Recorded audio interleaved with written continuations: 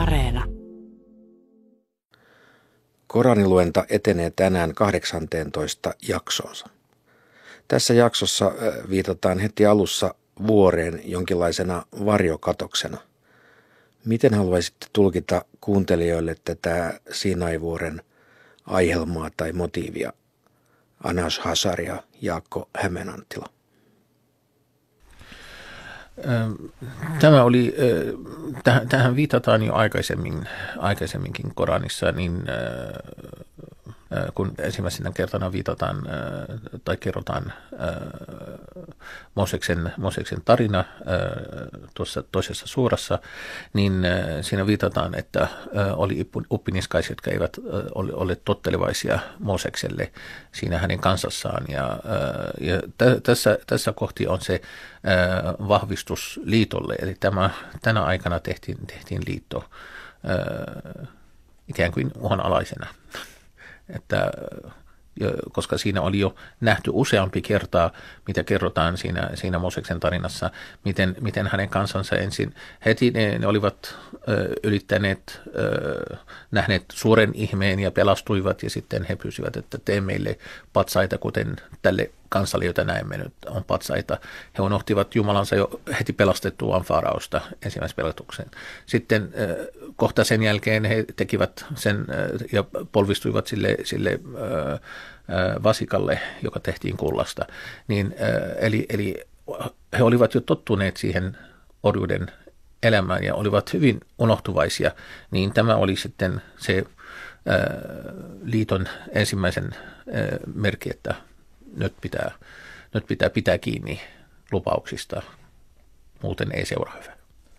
Siinä heti tuon kohdan jälkeen tulee mun mielestä yksi Koranin mielenkiintoisimmista jakeista, ainakin sen mukaan, miten sitä on myöhemmin käytetty, nyt tuo jae 172, joka liittyy aikaan ennen luomista, kun Jumala ottaa ikään kuin vielä luomattomien ihmisten sielut tavallaan puhuttelunsa, puhuttelunsa ja kysyy, enkö minä ole teidän herranne. Ja sielut vastaavat siihen sitten, sitten myöntävästi. Ja tämä on myöskin sitten se ihmiskunnan kanssa tehty tällainen niin sanottu primordiaalinen, eli ennen luomista tapahtunut liitto. Tämä selittää toisaalta sellaisen islamilaisen ajattelun, että kaikki lapset syntyvät muslimeina, se on islamilaisessa teologiassa, te- teologiassa tämä johtava ajatus, että kaikki ovat syntyessään muslimeita ja sitten vanhemmat kasvattavat heistä mitä kasvattavatkaan. Niin tämä kohta antaa yhden, yhden niin kuin ikään kuin perusteen sille Koranin sisältä. Ja toinen on tietysti se, että mystikot, islamin mystikot on erittäin mielellään siteeranneet tätä lausetta juuri selityksenä sille, että miksi ihminen kaipaa ikään kuin, ikään kuin Jumalan luokse, että hän on alun perin jo tehnyt liiton Jumalan kanssa ennen syntymäänsä, ja sen takia hänessä on, hänessä on niin kuin elää tällainen kaipuu kohti Jumalaa, ja tämä on todellakin varsinkin suufilaisuudessa eli islamin mystiikassa, tämä on kerta toisensa jälkeen siterattu, siterattu Koranin, ja varmaan yksi niistä kaikkein tärkeimmistä jakeista siinä ajattelutavassa. Joku saattaa miettiä, että miksi ihmiset unohtavat, koska nämä, nämä olivat ne sielut, ja olettavasti sielu, kun se on ruumissa, niin ei välttämättä muista, kuten puhuttiin aikaisemmin unesta, niin saattoi, että joku muista unen, kun, kun sielu vaeltaa unen aikana, tai sitten jotkut eivät muista näitä unia, joita, joita sielu on nähnyt. Aivan ne suufilasta kannattaa juuri se sen pieni, pieni epäröivä muistikuva, joka ihmisellä on, että hän ei ehkä pysty niin kuin, lausumaan ääneen, hän ei muista sitä, että aikoinaan ennen luomista niin, niin näin kävi, mutta hänellä on kuitenkin sellainen tietty, tietty sellainen niin unen jälkeen jää usein sellainen tunne, että ja esimerkiksi kiusaamaan, että näin jotain unessa, joka oli kiusallista, mutta en oikeastaan muista mitään. Niin vastaavalla tavalla suufilaiset ajattelevat, että ihmisten sielut jäivät, sinne jäi sinne pieni kipinä, jonka ansiosta he kaipaavat takaisin sen, vaikka eivät oikeastaan ymmärrä minkä takia. Muistamisesta puheen ollen, mitä muita asioita tästä 18 jaksosta mielestänne kuulijan pitäisi muistaa? No yksi, mikä mulle nousee, on sitten, kun mennään sitten seuraavan suuran puolelle, suuraan kahdeksan, joka, jonka alku, alku liittyy tähän, niin siellä on jakeessa 17 tällainen, joka liittyy niin kuin, historiallisen tulkinnan kannalta näihin, näihin Meka ja Medinan välisiin, välisiin taisteluihin. Mutta sitä on käytetty myöskin sitä ky- kysymyksen vapaasta tahdosta. Eli kun sinä sanot, että kun sinä ammuit nuolen, että ampuja ollut sinä vaan Jumala. Ja tätä on taas käytetty siinä keskustelussa paljon hyväksi, että onko, kun ihminen tekee teon, onko hän itse sen teon todellinen tekijä vai onko niin, että Jumala ikään kuin tekee sen teon ja hän ainoastaan tuntee tekevänsä sen teon. Ja tämähän on se islamin, islamisen teologian lopullinen kanta, tai siis se yle, yleinen kanta nykyään, että, että kaikkien tekojen tekoja on oikeasti Jumala, että ihminen vain, ihminen haluaa olla puhumassa radiolähetyksessä Koranin, Koranin tekstistä, mutta todellisuudessa Jumala on se, joka luo tämän teon, että ihminen on puhumassa siellä. Ja tämä jae on sellainen, mihin usein viitataan tässä keskustelussa. Tässä myös, ennen kuin päästään siihen seuraavaan suuraan, niin mulla on kaksi, kaksi asiaa tässä Al-Arafin suuran lopussa. Niin ensinnäkin tämä luomiseen viitataan uudestaan loiteita yhdestä, yhdestä hengestä ja tässä avioliiton tarkoitus tässä viitataan, viitataan siihen, että sen tarkoitus on saavuttaa rauhaa, rauhaisa yhteiselo. Ja tämä, tämä, on, tämä on yksi tärkeä, tärkeä kohta, kun puhutaan avioliiton kysymyksistä, niin tämä, tämä on sen perimmäis, perimmäisistä tarkoituksista ja että he kasvattaisivat sitten lapsiaan uskovaisiksi, eikä niin, kuten tuossa mainitaan, että jotkut uskovat, jotkut taas asettivat sitten Jumalalle tämmöisiä kumppaneita. Tämä on tärkeä, tärkeä kohta siinä. Ja sitten se viimeinen jae tässä suurassa niin on, on niin sanottu polvistusjae, eli, eli tai, tai maahan kumartumisen jae. Että, että se, kun sitä luetaan, niin meillä on säädetty, että luetaan tämän tyyppisiä jakeita, missä viitataan sujud tilanteeseen, eli, eli maahan kumartumiseen, niin sitten se, siihen polvistutaan sen yhteydessä. Ja näitä on 14 kohtaa, kohta Koranissa. Niin tämä mm, muistaakseni ehkä ensimmäinen, ensimmäinen kohta, kun tämä tulee tuossa. Mäkin ehkä vielä sen, sen suuren lopusta voisin nostaa esille tuon jakeen, jakeen 199.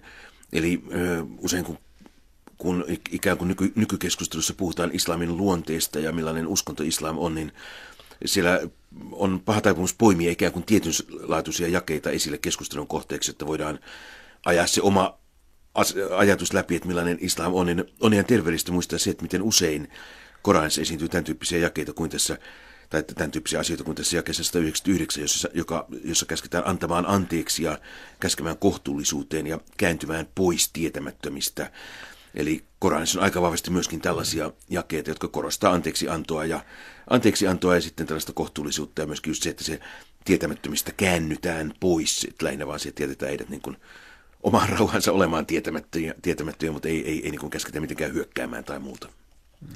Ja tässä tuli, tuli myös se käsky ö, kuunnella Korania, kun sitä luetaan. Niin sen takia, kun muslimit, ö, muslimin edessä luetaan Korania, arabian kielellä ihan, ihan Korania, niin, äh, niin sitten äh, heidän kuuluisi istua kuunnella eikä keskustella jostain muusta, muusta asiasta, vaan, vaan pohtia, mitä he ovat kuuntelemassa. Ja tällaisia on, on vielä, nähdään aika paljon tämmöisiä tilanteita, missä, missä yksi lukee ja sitten toiset kuuntelee ja sitten saattaa olla, että toinen lukee ja, ja niin edelleen. Tosin noin islamin ulkopuolelta voi vielä lisätä ja. sen, että jos ajatellaan Koranin resitaatiota taiteena, Koranin lukemista taiteena, mm. niin niin ymmärrän hyvin, että tavallaan se uskonnollinen ajatus on kuunnella ja pohtia, mutta, mutta myöskin sitten, sitten noin, noin ei-muslimina voi sanoa, että kyllä sitä myöskin välillä kuuntelee ihan, ihan pelkästään sen kauneuden takia, että parhaat koraniresitoijat ovat, ovat ihan niin kuin meillä operalaulajia tai muuta, että heillä on todellakin siis se, se esitys on taiteellisesti sangen nautittava. Myöskin ihmisille, joka ei ymmärrä sitä arabiaa, niin hän voi sitten kuunnella ja, ja hän ei pysty pohtimaan, mutta niin hän voi kuunnella sitä, sitä ilokseen. Toki resitoijan tehtävä on tuoda esiin se, mitä hän on lukemassa, niin sen takia se mm, äänen, äänen tota, toistamistapa niin on, on juuri pitää sopia siihen tilanteeseen, ettei, että sen takia sitten katsotaan, että hän on taitava resitoija, mutta jos, jos laittaa eri intonaatio sitten kohtaan, joka pitää olla surullinen, esimerkiksi laittaa jotain iloinen tai jotain vastaavaa, niin sitten se ei ole ihan oikea sisällön ja muodon täytyy, tai sisällön ja esittämistavan täytyy vastata toisiaan. Ja. Aivan. Kuinka tärkeänä pidätte tämän sotasaalinen suuran historiallisen kontekstin ymmärtämistä ja tietämystä tämän sisällön ymmärtämiseksi? Tämähän liittyy ilmeisesti Padrin taisteluun 624 ja taisteluun kauppakaravaanista, eikö niin? Joo, tämä Badrin taistelu on tässä se ensimmäinen suuri taistelu. Tähän viitattiin aikaisemmin, kun puhuttiin silloin Ohdin taistelusta, että muistakaa, kun Jumala auttoi teitä siinä ensimmäisessä oli toinen, toiseksi suurin, niin tässä, tässä puhutaan nimenomaan siitä, siitä ensimmäisestä. Eli, eli katsotaan, että tässä ajankohta, eli tämä tuli ennen sitä suuraa, mikä meillä oli aikaisemmin, eli ajallisesti, vaikka se on täällä paikallaan Koranissa sen jälkeen.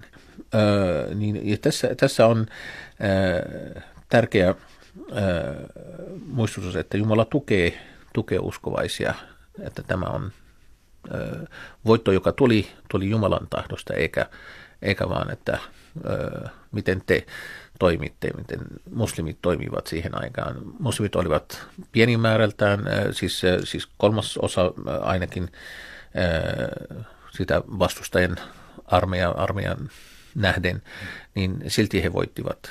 Niin, mutta voittivat, koska Jumala tahtoi, että he voittivat, voittavat, mutta ei, ei, ei muusta syystä.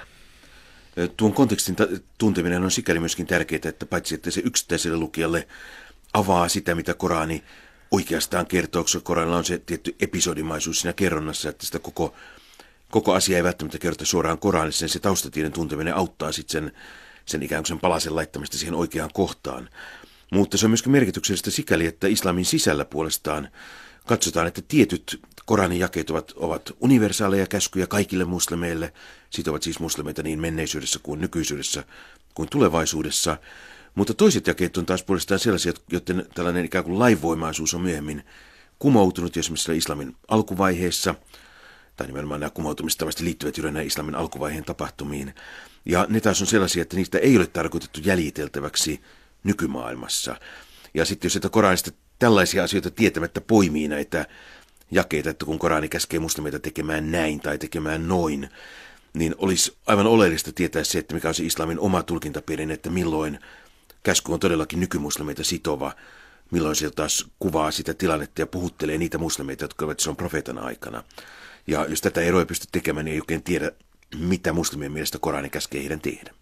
Toki islamikin puolella tässä on sitten tulkinnallisia eroja, että toisten mielestä toiset jakeet ovat laivoimaisia edelleen, toiset ovat sitä mieltä, että ne eivät ole.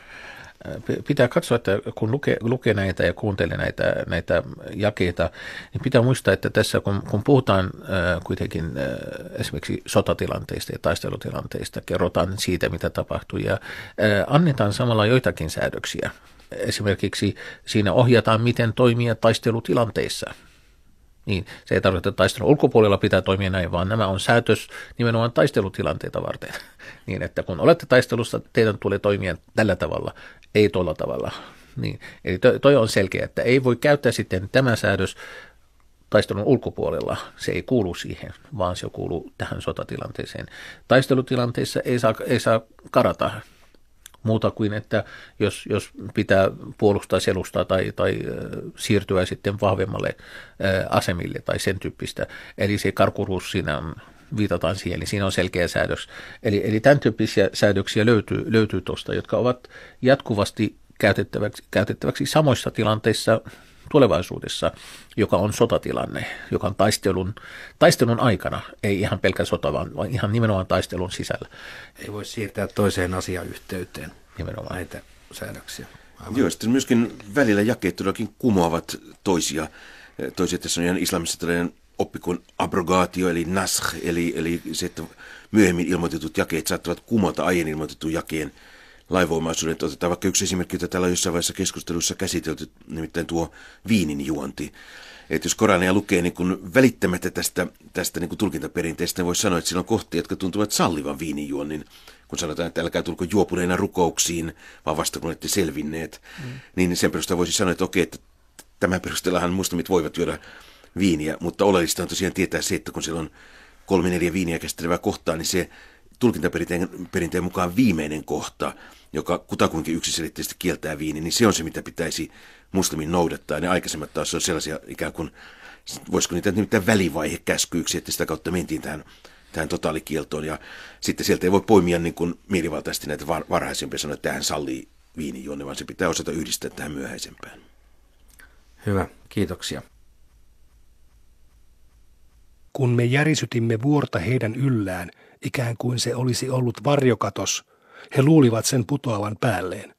Me sanoimme, pitäkää vahvasti kiinni siitä, minkä olemme teille antaneet, ja muistakaa, mitä siinä on, jotta oppisitte pelkäämään Jumalaa. Herrasi otti ihmisten kupeilta heidän jälkeläisensä ja antoi heidän todistaa itseään vastaan.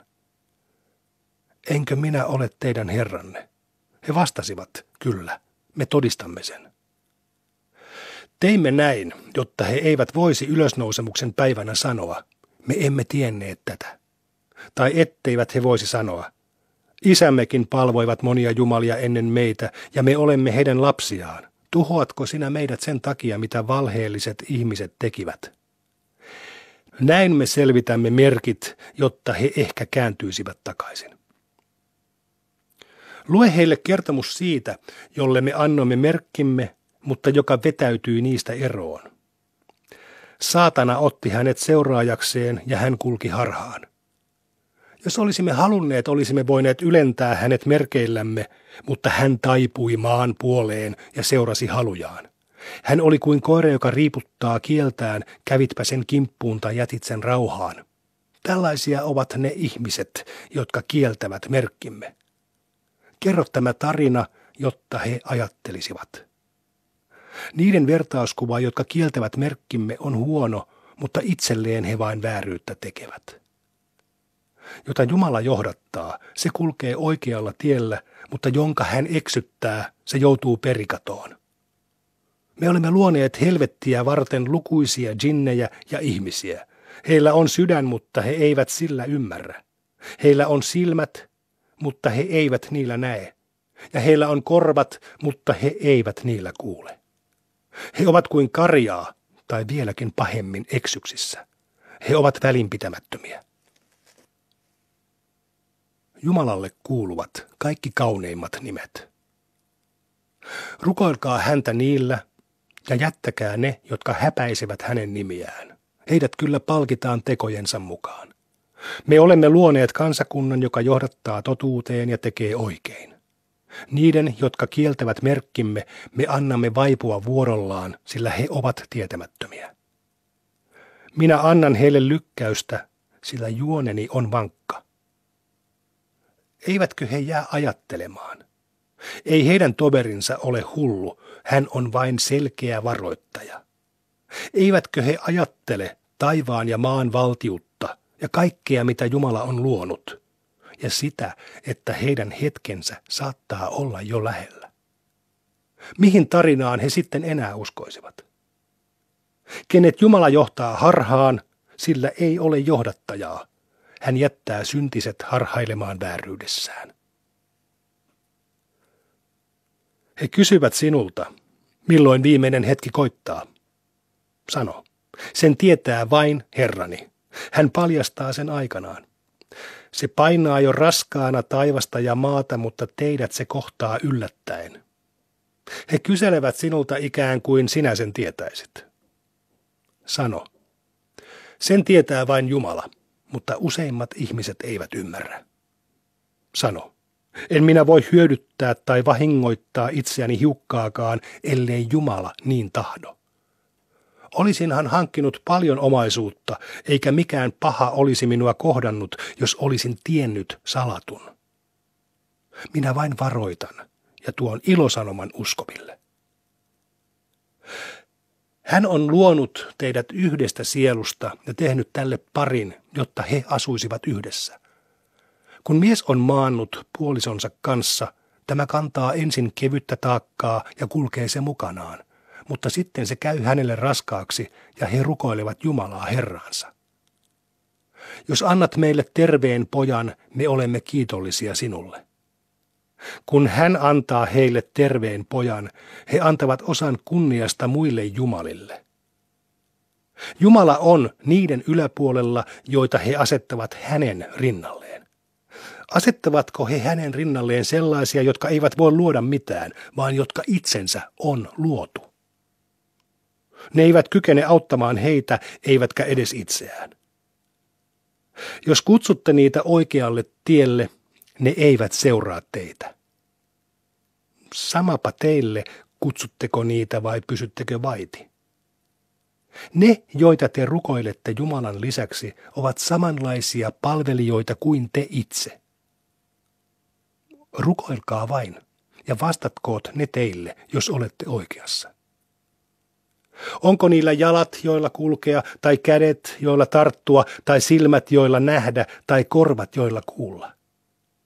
Sano. Kutsukaa kumppaneitanne ja punokaa juonianne minua vastaan, älkääkä antako minun odottaa. Suojelijani on Jumala, joka on lähettänyt kirjan, hän pitää hurskaista huolen. Ne, joita te rukoilette hänen lisäkseen, eivät pysty auttamaan teitä eivätkä itseään. Ne eivät kuule, vaikka kutsuisitte niitä oikealle tielle. Voit nähdä niiden katsovan sinuun mitään näkemättä. Anna anteeksi, käske kohtuullisuuteen ja käänny pois tietämättömistä. Jos jokin viettelys tulee sinulle saatanalta, etsi turvaa Jumalasta, sillä hän on kuuleva, tietävä. Kun saatana lähettää harhansa uskoville, he lausuvat Jumalan nimen ja näkevät jälleen oikein. Mutta tovereitaan saatanat vain eksyttävät väsymättä. Jos et esitä heille merkkiä, he kysyvät, etkö ole vielä keksinyt itsellesi merkkiä? Sano, minä seuraan sitä, mitä Herrani minulle ilmoittaa. Tässä Koranissa on selkeitä todisteita Herraltanne ja johdatus ja armo uskoville. Kun Korania luetaan, kuunnelkaa sitä tarkasti, jotta saisitte armon. Muistele mielessäsi Herraasi nöyränä ja peläten, äänettömästi, aamuin ja illoin, äläkä ole välinpitämätön. Ne, jotka ovat Herrasi luona, eivät ole liian ylpeitä palvomaan häntä, vaan he ylistävät ja kumartavat häntä väsymättä. Kahdeksan. Sotasaaliiden suura. Jumalan armeliaan armahtajan nimeen. He kysyvät sinulta sotasaaliista. Sano, sotasaaliit kuuluvat Jumalalle ja lähettiläälle. Pelätkää Jumalaa, olkaa sovussa keskenänne ja totelkaa Jumalaa ja hänen lähettilästään, jos olette uskovia. Ne ovat uskovia, joiden sydän vavahtaa, kun Jumala lausutaan. Kun heille luetaan hänen merkkejään, heidän uskonsa vain kasvaa ja he luottavat Herraansa. Ne ovat uskovia, jotka pitävät rukouksensa ja jakavat siitä, mitä olemme heille antaneet. He ovat oikeita uskovia ja heitä odottavat erilaiset palkkiot ja anteeksianto heidän Herransa luona, ja he saavat elää rauhassa. Kun Herrasi lähetti sinut pois kodistasi totuuden tähden, osa uskovista oli vastentahtoisia ja kiisteli totuudesta kanssasi, kun se oli jo käynyt ilmi, ikään kuin heitä olisi ajettu heidän nähtensä kuolemaan. Kun Jumala lupasi teille toisen kahdesta joukosta, te toivoitte, että aseeton joukko olisi teidän, mutta Jumala tahtoi tuoda totuuden sanoillaan esiin ja tuhota uskottomat viimeiseen mieheen. Hän teki näin, saattaakseen totuuden ilmi ja tehdäkseen valheen tyhjäksi, vaikka syntiset eivät sitä halunneet. Kun te huusitte Herraanne avuksi, hän vastasi teille, minä autan teitä tuhannella enkelillä, jotka ovat teidän takananne. Jumala asetti sen vain ilosanomaksi, jotta teidän sydämenne tyyntyisi. Voitto tulee vain Jumalan luota. Jumala on mahtava, viisas. Hän lähetti unen, jotta te tuntisitte olevanne turvassa, ja sateen taivaasta puhdistaakseen teidät sillä, pestäkseen teistä pois saatanan saastaisuuden, vahvistaakseen teidän sydäntänne ja tehdäkseen askelenne varmoiksi. Herrasi antoi enkeleille ilmoituksen. Minä olen teidän kanssanne. Vahvistakaa niitä, jotka uskovat. Minä asetan pelon uskottomien sydämeen. Hakatkaa poikki heidän kaulansa ja raajansa. Näin tapahtui, koska he olivat vastustaneet Jumalaa ja hänen lähettilästään. Joka vastustaa Jumalaa ja hänen lähettilästään, tietäköön, että Jumala on ankara rankaisemaan. Tässä teille, maistakaa nyt sitä. Uskottomia odottaa tulen rangaistus. Uskovaiset, Kun kohtaatte uskottomia taistelun tiimellyksessä, älkää kääntäkö heille selkäänne. Joka sinä päivänä kääntää heille selkänsä, ellei hän sitten tee sitä kääntyäkseen uudestaan taisteluun tai liittyäkseen toiseen joukkoon, on käynyt sisälle Jumalan vihaan ja hän saa sijansa helvetissä. Se on huono määränpää. Ette te heitä surmanneet, vaan Jumala. Kun ammuit nuolen, et ampuja ollut sinä, vaan Jumala. Hän teki näin koetellakseen uskovia parhaalla koettelemuksella. Jumala on kuuleva, tietävä. Näin Jumala tekee uskottomien juonen tyhjäksi. Jos haluatte ratkaisua, olette sen jo saaneet, mutta jos herkeätte, se on teille parempi. Jos te aloitatte uudestaan, mekin aloitamme, eivätkä teidän joukkonne auta teitä laisinkaan. Jumala on uskovien kanssa. Uskovaiset, totelkaa Jumalaa ja hänen lähettilästään, älkääkä kääntykö pois tästä, kun kerran olette sen kuulleet. Älkää olko niin kuin ne, jotka sanoivat kuulevansa, vaikka he eivät kuulleet. Luontokappaleista alhaisimpia ovat Jumalan mielestä kuurot ja mykät, jotka eivät ymmärrä. Jos Jumala tietäisi heissä olevan mitään hyvää, hän antaisi heidän kuulla, mutta vaikka hän olisikin antanut heidän kuulla, he olisivat silti kääntyneet pois. Uskovaiset, vastatkaa Jumalalle ja hänen lähettiläälleen, kun hän kutsuu teitä siihen, mikä herättää teidät eloon. Tietäkää, että Jumala tulee miehen ja hänen sydämensä väliin ja että hänen luokseen teidät kootaan. Pelätkää koettelemusta, joka ei kohtaa yksin väärintekijöitä, ja tietäkää, että Jumala on ankara rankaisemaan. Muistelkaa, kuinka teitä oli vähän, ja te olitte halveksittuja, ja pelkäsitte vihollisen hyökkäystä. Silloin hän otti teidät turvaan, auttoi teitä ja ruokki teitä kaikilla hyvällä, jotta te olisitte kiitollisia. Uskovaiset, älkää pettäkö Jumalaa ja hänen lähettilästään niin, että rikkoisitte sopimuksenne, vaikka tiedätte. Tietäkää, että omaisuutenne ja lapsenne ovat teille koettelemus, mutta että Jumalan luona odottaa suuri palkka. Uskovaiset, jos te pelkäätte Jumalaa, hän lähettää teille ratkaisun, pyyhkii pois pahat tekonne ja antaa teille anteeksi. Jumala on ylenlaupias. Kun uskottomat juonittelivat sinua vastaan vangitakseen tai tappaakseen sinut tai ajakseen sinut pois, he punoivat juoniaan, ja Jumala punoi juoniaan. Mutta Jumala punoo parhaat juonet. Kun teille luetaan meidän merkkejämme, he sanovat, kyllähän me kuulemme, ja jos me tahtoisimme, osaisimme mekin puhua tuollaista. Nämähän ovat vain muinaisia tarinoita. He sanoivat, Jumala, jos tämä on sinun lähettämäsi totuus, anna kivien sataa päällemme taivaasta tai anna tuskallisen rangaistuksen kohdata meitä.